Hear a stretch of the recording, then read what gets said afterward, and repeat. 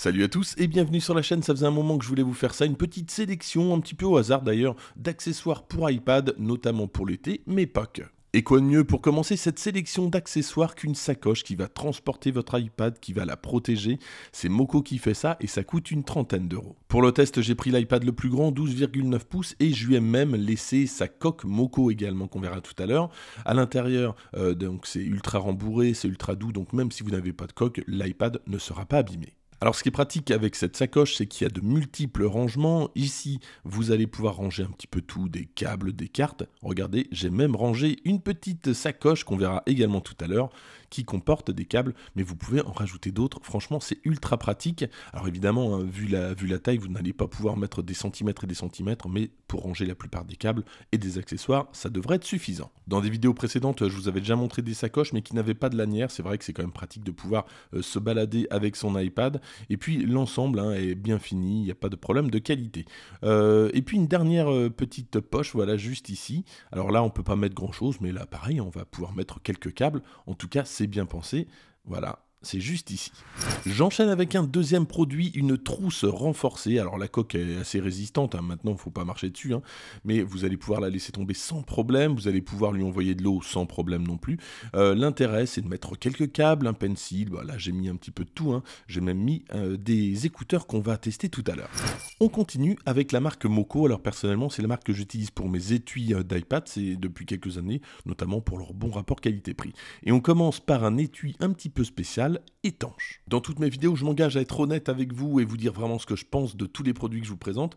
Et celui-ci, justement, alors je commence par celui-ci, puisque je le trouve un petit peu étonnant. Alors c'est sûr que ça peut euh, être pratique pour certaines personnes. En gros, bah, c'est un filtre que vous allez mettre sur votre iPad. Alors c'est étanche. Maintenant, même si, regardez, euh, au niveau fluidité, il n'y a aucun problème, je trouve pas ça quand même très agréable euh, au toucher et puis même à l'utilisation. Pour refermer, il y a trois petites attaches et puis donc l'ensemble devient hermétique. Alors c'est vrai que c'est pas mal, euh, par exemple si vous êtes au bord de la mer, euh, si vous prenez un petit peu de sable ou même de, l'eau justement, là vous n'allez rien avoir. Euh, il y a une petite poignée avec. Moi c'est vrai que ça m'est déjà arrivé d'avoir du, du, sable sur l'iPad, c'est un peu pénible. Bon voilà en tout cas la seule utilisation que je vois. Dans le même style, je vous propose cet étui ultra résistant et regardez, il y a même une vitre de protection, alors ça ne gêne pas du tout l'utilisation. Euh, on peut mettre le pencil, on le verra tout à l'heure. Regardez, donc c'est très fluide. Euh, bon, mais l'avantage, hein, c'est que c'est ultra résistant, vous allez pouvoir le cogner un petit peu partout. Personnellement, j'aime beaucoup, même si on va pas se mentir, ça gâche un petit peu le design de l'iPad, mais si vous avez des enfants, vous n'allez pas le regretter.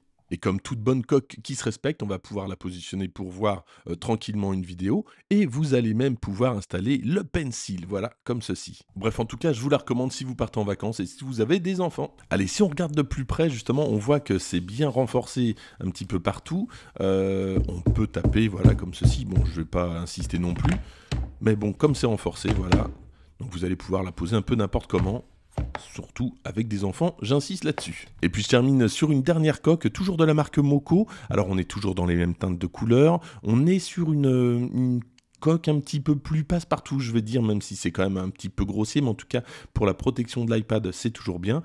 On a une coque qui doit être en une sorte de silicone, j'imagine, et puis à l'intérieur, euh, c'est euh, quelque chose de feutré, donc ça n'abîmera pas l'écran de votre iPad. La coque est résistante, hein, en tout cas sur les côtés c'est bien protégé. Vous avez euh, la même chose au niveau du capteur, donc là aussi il est bien protégé. Et puis si vous souhaitez regarder un film, une série, évidemment, vous avez ce mode-ci. Dans cette vidéo j'ai voulu vous présenter un petit peu tout, notamment ce casque. Alors il coûte 27 euros, c'est pour ça que je vous l'ai présenté. Faut pas s'attendre à des miracles avec ce casque. Euh, c'est le 6S, donc je vais le sélectionner dans Bluetooth, donc il s'appare très facilement. Voilà, il est appairé maintenant avec mon iPad, et donc je vais vous dire ce que j'en pense. Alors il y a deux choses qui m'ont tenté avec ce casque. La première, bah, c'était son design. Je le trouve assez joli. Alors finalement, quand on l'a dans la main, on sent hein, quand même que qualitativement, c'est pas ça.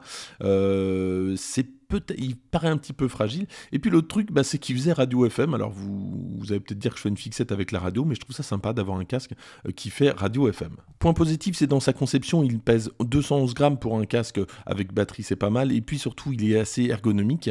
Euh, moi, quand je l'ai, je l'oublie très facilement. Je le trouve vraiment léger et bien adapté. Et puis si vous l'emmenez en voyage, hein, pas de problème, il est ultra compact, il se replie très facilement. À propos des touches de fonction sur le casque, celle-ci qui se trouve juste en bas permet de passer de Bluetooth ou tout simplement à la radio FM dont je vous parlais. Et puis avec les touches euh, à gauche-droite, vous allez changer de fréquence une fois que toutes les fréquences seront scannées. Et depuis ici, on va pouvoir prendre des appels, raccrocher, décrocher, échanger tout simplement deux chansons si vous êtes en train d'écouter de la musique. Et donc voici un petit test avec le casque 6S euh, que j'utilise avec le dictaphone de l'iPad. Alors comme vous pouvez euh, l'entendre, en fait, le son est relativement proche. Néanmoins, des fois, il y a des sautes de son, c'est-à-dire qu'on va entendre un petit peu plus fort, un petit peu moins fort. Le son n'est pas génial, mais finalement, euh, j'ai vu pire pour pas mal d'écouteurs. Mais le plus important, c'est la qualité sonore de cet écouteur. Personnellement, bah écoutez, hein, ça coûte moins de 30 euros, donc faut pas s'attendre à des miracles. Alors ils mettent super basse, ok, il y a pas mal de basses effectivement, mais ça écrase un petit peu l'ensemble. Et personnellement, je trouve que ça manque quand même de précision. Néanmoins, bon, hein, pour 30 euros, ça peut faire l'affaire. Alors personnellement, hein, lorsque je bouge, je préfère des écouteurs un petit peu plus petits, notamment des intras, euh, pour écouter de la musique notamment. Par contre, à la maison, c'est ce casque que j'utilise maintenant pour euh, jouer, puisqu'il est fourni en plus de son câble de, recharge, il est fourni avec un câble jack. On passe maintenant à un incontournable de l'été évidemment, bah, c'est le panneau solaire. Alors je regrette simplement chez Sony Bag, il n'y a toujours pas de port USB-C, on est toujours en USB-A, c'est le cas ici. Alors certains ont deux ports USB-A, celui-ci en a un. L'avantage de celui-ci, c'est qu'il est souple, regardez, je peux le plier comme ça, donc euh, suivant euh, bah, où vous allez le mettre, ça peut être pratique. Alors pour revenir à la connectique, hein, on est en USB-A et le, panneau solaire en fait annonce jusqu'à 7,5 watts de charge. Alors c'est vrai que pour un iPad, c'est un petit peu lent, euh, c'est quand même plus adapté pour les iPhones, mais ça fonctionne évidemment avec l'iPad. Mais là encore, c'est pas très gênant puisque vous êtes au bord de la plage par exemple, le soleil tape, vous mettez votre panneau solaire et vous rechargez tranquillement votre iPad. Alors on va faire un petit test avec une météo aléatoire. Quand j'ai commencé mon test, donc il faisait vraiment très beau, donc j'ai mis mon panneau solaire en plein soleil, euh, sauf que pendant les 3 heures, bah, ça n'a pas été complètement, euh, complètement ça, j'ai eu un ciel assez mitigé, mais sachez que je suis passé d'un petit peu plus de 30% à quasiment 60% 3 heures. Alors effectivement, c'est pas très rapide, mais vu que c'est gratuit et si on a le temps, moi je trouve que c'est quand même pas mal. Et pour vous donner une idée de la météo, j'ai pris une photo. Donc voilà, c'est un mix de ciel bleu et de nuages plus ou moins épais. Donc parfois, euh, bah, il y avait quasiment plus de, plus de charge hein, lorsqu'on était vraiment dans des nuages relativement épais. Maintenant, lorsqu'il y a des nuages, même s'ils sont pas très épais, on a quand même une petite charge. Et puis avec le panneau solaire sont fournis quelques accessoires, alors notamment des sangles, mais également des ventouses qui vont permettre par exemple d'accrocher justement le panneau solaire à une vitre. Donc si vous avez une vitre en plein soleil, vous allez pouvoir charger depuis votre intérieur directement bah, votre, iPhone, votre iPad. Tout ça, c'est bien pensé. Et puis pour terminer avec Sony Bag, il y a quelques années, j'avais testé le sac Sony Bag. Alors c'est le même principe, hein, c'est juste un sac à dos on a accroché justement un panneau solaire. Et il y avait un souci, c'est que lorsqu'il y avait du soleil, donc ça chargeait, il n'y avait pas de problème. Mais dès qu'on passait devant un endroit sombre, par exemple si on bougeait, la, la charge en fait se coupait et ne reprenait pas. C'est pas le cas avec ce panneau solaire. Et puis sachez pour terminer que cette version coûte 99 euros. On passe maintenant à des écouteurs bien plus légers que les écouteurs précédents. Alors, j'aurais jamais dû faire cette vidéo puisque lorsqu'on m'a proposé de tester euh, ces écouteurs, ça m'a pas forcément intéressé. Euh, je me voyais pas faire une vidéo de 6-7 minutes sur ces écouteurs-là qui n'apportaient rien de nouveau. Et eh bien franchement, je me suis trompé. Alors déjà côté packaging, si vous suivez un petit peu la chaîne, vous avez peut-être reconnu euh, ce, packaging d'une autre marque que j'aime beaucoup, c'est Sunpitz. Je pense que c'est exactement le même fabricant. Franchement, il y a quasiment aucun doute vu la boîte. et regardez ce boîtier, euh, alors il est tout simple, hein, mais il est ultra fin. Et lorsque vous avez un boîtier dans la poche, euh, vaut mieux qu'il soit fin. Le boîtier, évidemment, est livré avec son câble d'alimentation. Et puis l'avantage des écouteurs par rapport aux intras que j'avais pu tester, c'est que ce ne sont pas des intras. On va simplement venir les poser euh, sur l'oreille, comme pour les AirPods de première génération. Et c'est vrai que pour l'été, ça tient un peu moins chaud. Aucune difficulté pour l'installation, on ouvre le boîtier, on va dans les réglages Bluetooth et on sélectionne les écouteurs True Free. Et là où a été la très bonne surprise, bah, c'est tout simplement par rapport à la qualité sonore. Je m'attendais pas du tout à ça. Euh, avec les intras, on a de bonnes basses généralement, mais avec ce type d'écouteurs, on a souvent des, basses un peu fuyantes puisque ça rentre un petit peu moins dans l'oreille. Le son est précis, il y a peut-être même un petit peu trop de basses à mon goût. Euh, j'aurais aimé un petit peu moins de basses. Et c'est vrai que pour récupérer cette qualité de son, et notamment ces basses assez profondes, euh, souvent bah, ça passe par des intras. Là, c'est pas le cas. Franchement, si vous voulez la qualité des intras et quelque chose chose d'assez agréable à mettre dans l'oreille, bah, je vous conseille, c'est True Free. Et puis pour terminer avec ces écouteurs, alors ils sont tactiles évidemment, donc on va avoir accès aux différentes commandes, lecture, pause, chanson suivante, euh, chanson précédente, etc. Et évidemment pour lancer les assistants. Et puis terminer à propos des caractéristiques techniques, alors il n'y a pas d'ANC avec ces écouteurs, il y a 4 micros intégrés, il est IPX4, et puis côté autonomie, on est euh, tranquille pendant 17 heures, on va pouvoir les recharger plusieurs fois. 17 euh, heures, c'est pas euh, parmi les meilleurs écouteurs que j'ai pu tester, mais c'est dans la bonne moyenne, c'est très correct. Ces écouteurs coûtent un petit peu plus de 40 euros, pour ceux qui n'aiment pas les intras, je pense que c'est un très bon compromis. On passe maintenant à mon produit préféré de cette liste, alors c'est sûr que c'est pas un accessoire forcément pour iPad, et j'ai fait pas mal de caméras, sais que c'est pas le truc qui vous tente le plus, les caméras sur la chaîne. Donc j'avais hésité à la faire aussi. Celle-ci, bon, elle n'était pas prévue non plus. Et je me suis dit, tiens, pour mon test des accessoires pour iPad, ça peut être sympa étant donné sa taille. Et justement, côté taille, regardez, alors je vais enlever la caméra de son support aimanté. Euh, donc, alors déjà, l'idée du support, c'est vraiment bien parce qu'on va pouvoir mettre cette caméra partout.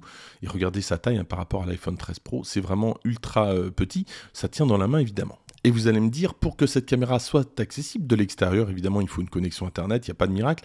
Je vous propose également ce routeur 4G, alors que j'ai depuis quelques années maintenant, je m'ai acheté... Euh, ça, coûtait une centaine d'euros. Je vous mettrai le lien. En tout cas, c'est vraiment génial lorsque vous partez en vacances. Vous branchez donc votre caméra sur ce modem et vous êtes tranquille. Le modem, euh, s'il y a une panne d'électricité, de toute façon, euh, va tourner pendant quelques heures avant de s'éteindre. À l'arrière de la caméra, vous l'avez vu, donc il y a un bouton de réinitialisation. Il y a également euh, la possibilité de mettre une carte SD pour enregistrer les événements. Évidemment, si on vous voit la caméra, bah, vous n'avez plus rien. Et puis, il y a également le port de charge. Dans cette vidéo, je ne vais pas rentrer dans les principales caractéristiques de cette caméra. Sachez que c'est une caméra 1080 ça suffit amplement. Euh, alors, la marque, vous la connaissez peut-être, hein, c'est EasyViz, j'ai déjà testé et c'est vrai qu'ils font pas mal de caméras très astucieuses. Avec cette caméra, évidemment, vous allez avoir les mêmes caractéristiques que n'importe quelle autre caméra, c'est-à-dire vous allez pouvoir parler à votre interlocuteur, vous allez avoir des notifications en cas d'intrusion, vous allez même pouvoir gérer euh, si c'est une intrusion humaine ou non, vous avez euh, la possibilité de choisir la zone de détection, donc franchement, c'est du grand classique. Pour le stockage des données, on peut utiliser le cloud, sinon on peut mettre une carte SD. Euh, par contre, hein, si on vous vole la caméra, évidemment, on vous vole la carte avec, donc vous n'avez plus accès aux données. Et la grande question, c'est l'autonomie. Une si petite euh, caméra embarque une toute petite batterie. Eh bien, sachez que vous allez être tranquille. Alors, le constructeur dit 50 jours. Moi, je suis plutôt à 30 jours en pleine autonomie. Ça dépend évidemment euh, si vous l'utilisez beaucoup, s'il y a beaucoup de passages et de notifications. Personnellement, je vous recommande fortement cette caméra. L'installation est ultra simple, hein, comme à chaque fois avec EasyViz. Et puis, euh, donc, ce modèle, c'est le BC2. Ça coûte 65 euros en promo sur Amazon en ce moment. Franchement, ça vaut le coup. Sachez que c'est compatible donc iPad, Android également iOS, mais également macOS. Vous allez pouvoir gérer vos caméras depuis votre Mac si vous en avez un.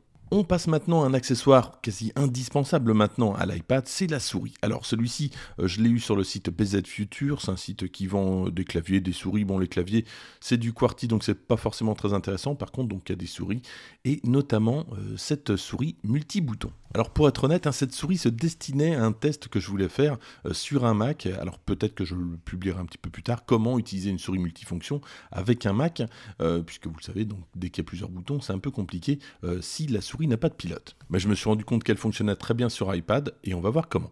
Alors si on retire le clapet qui se trouve juste ici, on a accès à la pile et au petit dongle qui va permettre de le jumeler avec un Mac ou un iPad. Pour info, la pile est fournie et le dongle va faire office de relais entre le Mac, dans notre cas l'iPad, et la souris. Alors euh, ce, qui, est intéressant ou, non, ce qui peut être un frein, c'est que euh, cette souris n'est pas Bluetooth. Donc, si vous n'avez pas euh, de, hub, on va en voir un juste, juste après, si vous n'avez pas de hub pour votre iPad, vous n'allez pas pouvoir utiliser cette souris.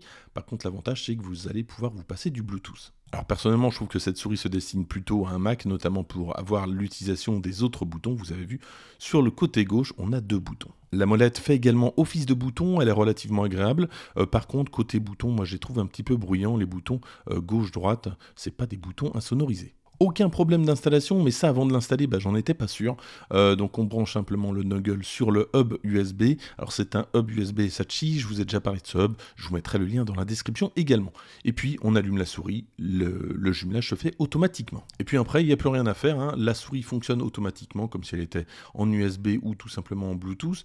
Euh, on peut faire exactement la même chose Alors évidemment, hein, c'est sûr que ce type de souris pour un iPad, c'est pas forcément top. Par contre, si vous avez un Mac, ça peut devenir intéressant. Dites-moi dans les commentaires si ça vous intéresse que je vous fasse euh, justement un petit point sur les souris multifonctions, multi-boutons, pardon, euh, qui euh, n'ont pas de pilote sur Mac. Et puis pour terminer cette sélection d'accessoires sur iPad, j'aimerais euh, bah, conclure avec un accessoire fabriqué en France, c'est la marque Norev qui produit ça. C'est une marque qui vient de Saint-Tropez, alors avec du cuir français, des artisans français, etc. Euh, et donc, bon, euh, Norev produit pas mal de, produits de, ce style. Hein. On a des, sacoches pour, pour AirPods, on a aussi des coques pour iPhone, et donc ici une coque pour iPad. Alors le prix c'est quand même autour d'une centaine d'euros, hein, c'est quand même pas donné et je trouve qu'il y a quand même un défaut, c'est regardez, on voit ici donc l'iPad, l'écran de l'iPad qui dépasse pour pouvoir l'attraper. Je trouve pas ça bien pensé honnêtement euh, vu le prix de, cette protection. Et puis à l'intérieur on a donc bah, une sorte de, feutrine en fait. Hein. C'est même pas, euh, je sais pas, j'aurais préféré une sorte de microfibre. Je trouve pas ça génial en fait cette feutrine à l'intérieur. Sinon l'extérieur est parfait. Euh, c'est vraiment ultra bien fini. Vous voyez C'est beau, bon après, il faut aimer la couleur. Voilà ce que je pouvais vous dire sur cette sélection d'accessoires. Donc j'ai essayé de changer un petit peu par rapport aux autres vidéos que j'avais faites. Euh, j'ai j'ai évité de faire des supports, des hubs, etc. Mais en tout cas, si euh, l'un des produits vous intéresse, n'hésitez surtout pas à les commander depuis les liens en description. Merci d'avoir suivi cette vidéo. N'hésitez pas à la liker, à la partager, à vous abonner. Et moi je vous dis à très bientôt.